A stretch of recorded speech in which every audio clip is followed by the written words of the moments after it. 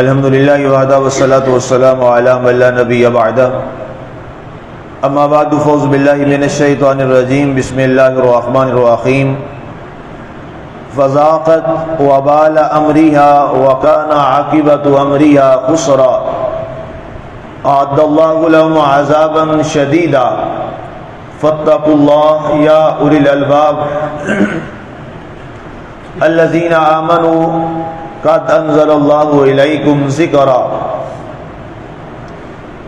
फिर अपने काम की सज़ा इन लोगों ने चखी और इनके काम का अंजाम खसारा ही हुआ अल्लाह ने उनके लिए अजाब शदीद तैयार कर रखा है तो अकल वालो अल्लाह से डरो जो ईमान वाले हो बेशक अल्लाह ताला ने तुम पर वो चीज़ नाजिल की है जो सरासर नसीहत है। आज हमारी सूरा तलाक की आय मुबारक नंबर दस। टेन तक की तिलावत और तर्जमा का शरफ नसीब हुआ। सामीन, हमारी गुफ्तु कल चल रही थी कि रबाल ने इशाद फरमाया कि कितनी बस्तियाँ थीं जिन्होंने नाफरमानी इख्तियार की तो अल्लाह ताला ने उन्हें शिद्दत वाले अजाब के साथ उनका मुहासबा फरमाया। उसके बाद उसी कल वाले दरस मुबारक का तसलसल आगे इस मुबारक में इशाद फरमाया गया, हुक्म फ़जाक़त वबाल अमरीहा वकाना आकिबत अमरीहा खुसरा। कि फिर इनके जो काम थे और इनके जो मामला थे और इनके जो बुरे अमाल थे, उसकी सज़ा अल्लाह ताला ने इनको अता फरमाई। और इस बुराई का बदला इन्हें चखना पड़ा सज़ा की सूरत में, अजाब की सूरत में, और इनका जो अंजाम था वो इंतहाई बुरा हुआ। अब ज़ाहिर है, ये बड़ी वाज सी बात है कि अच्छाई का बदला हमेशा अच्छाई ही हुआ करता है। और जजाओ सैयत सैया और बुराई का बदला बुराई ही हुआ करता है। ये कभी नहीं होता कि इंसान गंदम जो है उसकी काश्त करे और उसमें से चने की उम्मीद रखे। ऐसा तो नहीं होता। जो इंसान काश्त करता है, जो बीज बोता है, उसमें से वो ही निकलेगा। अब गोया हमें ये बात इसलिए बताई जा रही है कि ए उम्मत मुस्तफ़ा सल्लल्लाहु अलैहि वसल्लम अल्लाह ताला ने तुम्हें जो ज़िंदगी अता फरमाई है, चंद रोज़ा ज़िंदगी है, बहुत महदूद ज़िंदगी है, इंतहाई मुख्तसर सी ज़िंदगी है, और ये वाला वो वक्त जिसके अंदर हम साँसें ले रहे हैं, जिसमें हम मौजूद हैं, आप मुलायजा फरमाएँ कि अब वो वक्त शुरू हो चुका है, जो हम हदीसों में पढ़ा करते थे और सुना करते थे अपने इस कराम से, कि एक वक्त आएगा कि जनाब जब साल जो हैं, वो महीनों में गुजर जाएँगे और महीने जो हैं, वो हफ्तों की शक्ल में गुजरते चले जाएँगे और हफ़्ते दिनों में और दिन घंटों में ऐसे गुजर जाएँगे, इंसान को पता भी नहीं चलेगा। इस वक्त वही लम्हा और वही दौर और वो जमाना है जिसमें हम आज मौजूद हैं कि साल वाकई माह में ऐसे गुजरते हुए नज़र आते और महीने ऐसे हफ्तों में जा रहे हैं हर बंदे की ज़ुबान से यही लफ्ज सुनने को मिलता है कि जनाब, वक्त का पता ही नहीं चल रहा कि बड़ी तेज़ी के साथ गुजर रहा है। एक शख्स नहीं, हर एक आदमी यही कह रहा है। तो हमें यह समझ लेना चाहिए कि आका करीम सलाम ने जिस जमाने का ज़िक्र फरमाया था, वो जमाना तो आ चुका है। जिसकी हदीस पाक में आपने बात इर्शाद फरमाई थी कि जनाब, तुम देखोगे कि वक्त बड़ी तेज़ी के साथ गुजरता चला जाएगा। और बिल्कुल वही हालात है। तो इसका मतलब क्या है? सरकार दो आलम वसलम ने फरमाया कि जब वो लम्हा तुम्हारे ऊपर आ जाए तो फरमाया अपने अमाल की दुरुस्ती का ख्याल करना। इसलिए कि अब तुम्हारा मामला बड़ा करीब आ चुका है और क्यामत के वो लम्हात करीब की जाने बढ़ रहे हैं। और इस पर बड़े बड़े हमारे बुज़ुर्ग और सूफिया इस बात की गवाही दे चुके हैं कि अब वो लम्हात जो हैं, उनके हम करीब से करीब होते चले जा रहे हैं। ज़ाहिर है, बाकी तो इल्म अल्लाह ही बेहतर जानता है। अल्लाह को मालूम है कि क़यामत कब आएगी और कब ये दुनिया का निज़ाम समेट दिया जाएगा। ये तो अल्लाह ताला ही बेहतर जानता है। लेकिन ये इतना ज़रूर है आयात और हदीस की रोशनी में कि जिस उस वक्त की जानब हमने बढ़ना है, उस वक्त का आगाज़ हो चुका है। ये बात है। इस पर बहुत सारे अहले इल्म और अहल में अहले मारफत और अहले दानिश इसकी वो बात बता चुके हैं क्योंकि आका करीम सलाम ने जो निशानियाँ बताई थी, जो आपने अलामत बताई थी, उनमें से बहुत सारी निशानियाँ जो हैं, वो मौजूद हो चुकी हदीस की रोशनी में बहुत सारे ऐसे मामला जो हैं, वो इस वक्त हो चुके हैं। और उसमें एक बड़ी एक अहम बात ये भी थी कि अल्लाह के नबी वसल्लम ने फरमाया, पूरी दुनिया पर जो सूद है, इसको लीगलाइज कर दिया जाएगा। सूद को कानूनी तहफ़ मिल जाएगा। और इस वक्त आप पूरी दुनिया में देखें कि सूद जो है, अपने उरूज पर इस वक्त सफ़र कर रहा है। पूरी दुनिया के अंदर, क्या मुस्लिम मुल्क, क्या गैर मुस्लिम मुल्क, हर एक मुल्क के अंदर। इसके साथ अल्लाह के नबी वसल्लम ने शायद फरमाया था कि वो ज़माना उसके आगाज़ की एक अलामत ये भी हो जाएगी कि फरमाया अलियाज़बिल्लास्तफ़िरल्ला कि बेहयाई और बेपर्दगी इतनी आम हो जाएगी कि जो लिबास मर्द पहनना पसंद नहीं करता, वो लिबास औरतें पहनना शुरू कर देंगे। आज वो ज़माना भी हमारे सामने है। वो लिबास जो मर्द पहनते हुए शर्म महसूस करता है। और वाक़ता मर्दों को ऐसा लिबास कभी पहने हुए नहीं देखा गया, जो लिबास औरतें इस वक्त पहनती मर्द वो लिबास, मैंने मर्दों को वो लिबास पहने हुए कभी नहीं देखा। और मर्दों को शर्म आती कि ये लिबास हम कैसे पहने? मर्द होकर। वो लिबास औरतें अब मुस्तकिल तौर पे पहन के बाजारों की जिनत बनती हैं, रास्तों की जिनत बनती हैं। अल्लाह के नबी वसल्लम ने फरमाया, ये बुखारी शरीफ की हदीस पाक है फरमाया वो लम्हा, एक ऐसा होगा कि फरमाया कि औरतें लिबास में तो होगी, लेकिन वो नंगे बदन इस वक्त वो बिल्कुल वही जमाना आपके सामने, हमारे सामने। तो इसलिए इन तमाम अदीस की रोशनी में ये बात तमाम अहल ने लिखी है और इसकी वजाहत की है कि उस जमाने का आगाज़ तो हो चुका है। तो ज़ाहिर है अब उसके बाद कब वो लम्हे आए और बाकी कब नजूल इमाम महदी सलाम हो जाए और अरबों के जो हालात हैं वो जिस अंदाज से तब्दील हो रहे हैं, ये सारी चीज़ें और ये सारी पेशीन गोइयाँ आका करीम सलाम फरमा चुके हैं, जिन पेशीन गोइयों से अहले अरब अब गुजर रहे हैं। ये हालात उनसे गुजर रहे हैं। और उनमें आका करीम सलाम ने यह फरमाया था कि अरबों की अमारत के बाद, उनकी दौलतमंदी के बाद उनके हालात बिगड़ जाएँगे। और फिर वो वापसी में इस हद तक चले जाएँगे कि जैसे वो पहले भेड़ बकरियाँ चराया करते थे, वो दोबारा भेड़ बकरियों की तरफ़ आ जाएँगे। इस वक्त दुनिया बता रही है, दुनिया के आदाद शुमार बता रहे हैं कि जो अरब हैं, उनका खसारा जो है वो दिन ब दिन बढ़ता चला जा रहा है। घाटे की जाने बढ़ते चले जा रहे हैं। उनके पास जो एक बड़ी अहम चीज़ थी, तेल। अब तेल की जो खपत है, वो बहुत कम होती जा रही है, उसकी तलब बहुत कम हो रही है कि दुनिया ने एक नई तकनीक दुनिया में मुतारफ हो गई, नया सिस्टम आ गया, जिसको सोलर सिस्टम कहते हैं। उसके तहत अब तेल की दिन ब दिन जो तलब है, वो कम होती चली जा रही और अरबियों के क्या हालात हैं, वो हम सबके सामने हैं कि जिस कंडीशन में इस वक्त वो जा चुके हैं, बामी नाजाकियाँ हैं और फिर उसमें ये कहा गया था, हदीस पाक में, कि अरबों तक इस तरह के उनमें लोग आ जाएँगे कि वो इस्लाम से दूरी का रास्ता अख्तियार करते चले जाएँगे। और परसों तरसों मैं अखबार में पढ़ रहा था, नवाए वक्त के अंदर ही शायद वो खबर छपी हुई थी, कि तारीख में पहली बार सऊदी अरेबिया में अब गौर करें, जहाँ पर सैनमे का कोई तस्वुर भी नहीं कर सकता था जहाँ सोचा भी नहीं जा सकता था। ज़ाहिर है मुकदस शहर है, पाक शहर है।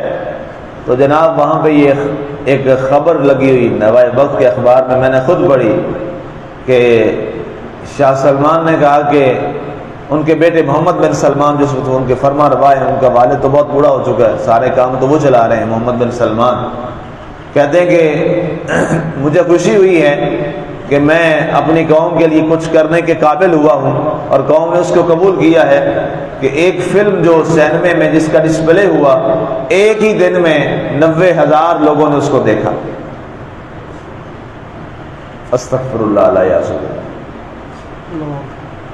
ये मक्का मुकरमा का जो वली अहद शाह वहाँ का मौजूद है, वो ये जुमला बोल रहा है। और अस्तफरल्ला जब इसका डिस्प्ले किया गया, आगाज़ किया गया, उसको हमने देखा।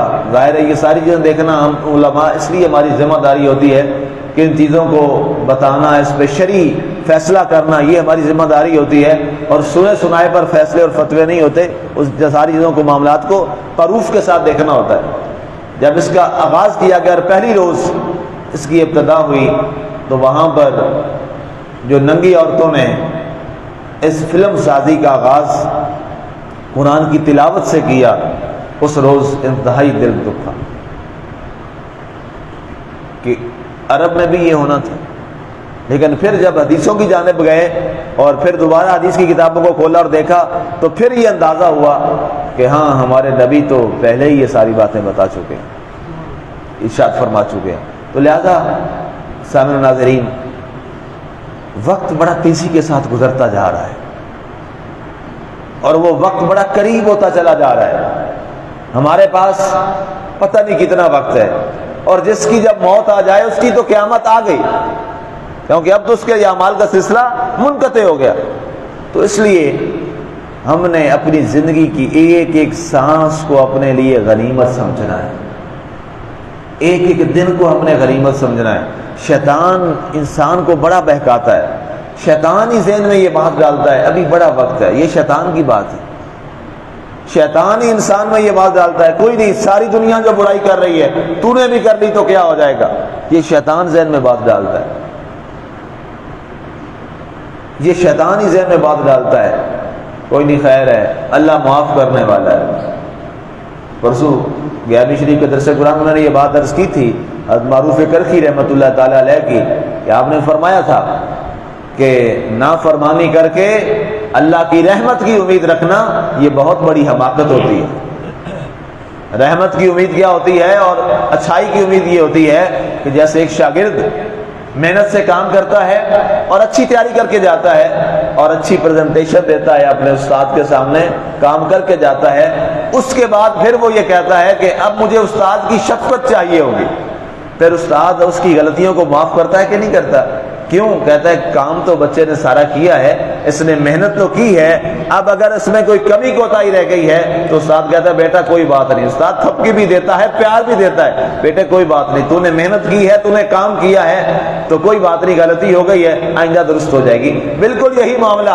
अल्लाह और बंदे का भी है कि बंदा मेहनत करे, काम करे, उसके रास्ते में नेकी करे, आगे उसमें कमी कोताही रह जाए, फिर अल्लाह से रहमत की उम्मीद रखे कि काम जो था वो कर दिया अब अल्लाह अपनी रहमत के साथ बाकी जो कमी है उसको माफ़ फरमा देगा और इंसान अमल ही ना करे, इंसान नाफरमानी पे नाफरमानी किए जाए और उम्मीद रखे उसकी रहमत की, इससे बड़ी जहालत कोई नहीं है। और यही जहालत आज हमारे मुआरे में नब्बे परसेंट दाखिल हो चुकी है। कोई हमें, हम उन्हें अजाब कब्र की बात सुना दें, हम उन्हें अमाल की बात कर दें तो कहता ये मौलवियों को, मौलवी हमें डरा डरा के मार रहे हैं। मौलवी पागल है? ये हमें क्या गरज है? हमने क्या लेना देना है? हम तो अल्लाह का जो कुरान और पैगाम है, वो सुना रहे हैं। हम तो तर्जुमान हैं। किसी मौलवी का अपना दीन नहीं है, किसी मुबल्लिग और इमाम का अपना दीन नहीं है। दीन तो मेरे अल्लाह का है। जो भी आलिम जहाँ बैठा है, जो भी इमाम जहाँ बैठा है, जो तबलीग कर रहा है, जो भी अल्लाह का बंदा अल्लाह की बात लोगों को सुना रहा है, वो तो तर्जुमान है। वो तो तर्जुमानी कर रहा है। वो तो आपको इल्म दे रहा है, कुरान बता रहा है कि कुरान कह क्या रहा है। इससे बड़ी और क्या वाज बात है कि हमारे सामने कुरान होता है और कुरान और हदीस हम बयान कर रहे हैं। हम किसी की बातें तो सुना नहीं रहे। और अगर कोई कुरान की बात को भी कहे कि ये उनकी बात है तो इससे बड़ी जहालत और क्या हो सकती तो आगे शायद फरमाया गया आजाबन शदीदा। फरमाया, जिन लोगों ने सुस्ती की, काहली की और अपने मामला को दुरुस्त न किया, अल्लाह ने इनके लिए अजाब शदीद तैयार कर रखा है। सख्त अजाब तैयार कर रखा है। अजाबन शदीदा फतकुल्ला लोगो, अल्लाह से डरो, अल्लाह से डरो, अल्लाह से डरो। या उल अलबाब, अगर तुम्हारे अंदर कुछ अक्ल और शूर है तो। अल्लाह ताला से जितना शख्स ज़्यादा डरता है, ये उस बात की दलील है कि वो उतना ज़्यादा साहिब अक्ल है। साहिब इल्म और साहिब अक्ल ही अल्लाह से डरता है। और अल्लाह से डरना चाहिए। हर मामले में अल्लाह ताला से डरना चाहिए। इसलिए कि कुरान में अल्लाह खुद फरमाता है इन बदशा रबी का लशदीद। अल्लाह की पकड़ बड़ी सख्त है। अल्लाह की पकड़ बड़ी सख्त है। और जब वो पकड़ पे आता है तो फिर बड़े बड़े अम्बिया भी उसकी बारगाह में काँप रहे होते हैं। डर रहे होते हैं। क्यों? वो है जो मालिक। वो किसी का पाबंद तो नहीं है और ना कोई उसको पूछने वाला है। आगे फरमाया, अल्लाजीना आमनू और ए लोगों, जो ईमान लाए हो, तुम्हें तो सबसे ज़्यादा डरना चाहिए अल्लाह से। पहले आम बात फरमाई, लोगों, अल्लाह से डरो। फिर फरमाया अल्लाह जीना आमनू ए ईमान वालो तुम्हें तो अल्लाह से और ज़्यादा डरना चाहिए। इसलिए कि तुमने कलमा पढ़ा है, ला मोहम्मद तो ईमान वालों हमारी ज़िम्मेदारी और ज़्यादा बढ़ जाती है। जब हमने अल्लाह को वादा शरीक मान लिया, अपना खाले को मालिक मान लिया, अब हमारी ज़िम्मेदारी और बढ़ गई। हमने जनाब सैद रसूलुल्लाह सल्लल्लाहु अलैहि वसल्लम को अपना नबी और रसूल माना। हमारी ज़िम्मेदारी और ज़्यादा बढ़ गई। कद ज़िक्रा। उसकी वजह क्या है? तुम्हें ज़्यादा क्यों डरना चाहिए? तुम्हें ज़्यादा नेक क्यों होना चाहिए? तुम्हें हर हर मामले में अल्लाह का खौफ ज़्यादा क्यों करना चाहिए? इसलिए कि तहकीक अल्लाह ने तुम्हारी तरफ़ ज़िक्र नाजिल किया है। ज़िक्र। अब ज़िक्र के बारे में तीन कॉल किए गए मुफसरीन की तरफ़ से, जो तफसीर में लिखे हैं, अभी मैं पढ़ रहा था। तीन बातें। नंबर एक, कहा गया, ज़िक्र से मुराद हज़रत जबरील है। नंबर दो, ज़िक्र से मुराद, ये कुरान है। नंबर तीन, ज़िक्र से मुराद, खुद सरकार दो आलम वसल्लम की ज़ात पाक है। अब तीनों माने दुरुस्त है। तीनों मानों का ताल्लुक बड़ा गहरा है। जबरील माना ज़िक्र इसलिए है कि ये सारा कलाम लेकर कौन आए?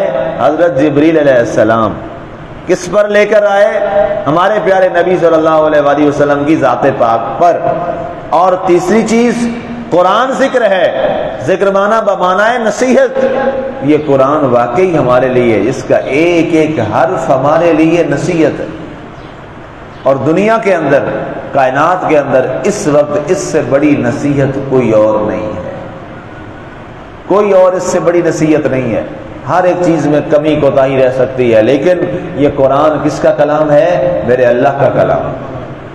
और रब का जब कलाम हो, इससे हमें और बड़ी क्या नसीहत चाहिए कि हमें नसीहत लेने के लिए खुद अल्लाह का कलाम मौजूद है हमारे घरों हमारे मिंबर पे, हमारे मेहराब में, हमारे घर में, हमारे सामने ये ज़िक्र मौजूद है। अल्लाह फरमाता ईमान वालो, तुम्हें तो ज़्यादा डरना चाहिए मेरी रात से, इसलिए कि मैंने तुम पे कर्म फरमाया और मैंने तो तुम्हें अपना ज़िक्र भी अता फरमा दिया। अल्लाह ताला इस ज़िक्र जिसका हम ज़िक्र अभी कर रहे हैं अल्लाह ताला इस ज़िक्र के ज़रिए हमें नसीहत हासिल करने की तोफ़ी अदा फरमाए। और कुरान के अंदर हमें गोताजन होने की तोफ़ी अदा फरमाए। और अल्लाह ताला हम सबको अपने आप को अपने बच्चों को बीवी बच्चों को ये नसीहत और ये उन्हें तरगीब देने की तोफीक दे कि कुरान को घरों में अलमारियों में बंद करके लॉक करके न रखें गिलाफों में बंद करके बल्कि इसे गिलाफों से निकालें और इसकी तिलावत करें। इसको तर्जमे के साथ पढ़ें, इसको सीखें और जो इसमें नसीहत हमें मिलती है, उस पर अमल करने की कोशिश करें ताकि हम अल्लाह के यहाँ सुरखरू हो जाएँ और कल कब्र में कामयाब होकर अल्लाह के हजूर पेश हो जाए। आमीन, वमा अलैना मुबीन।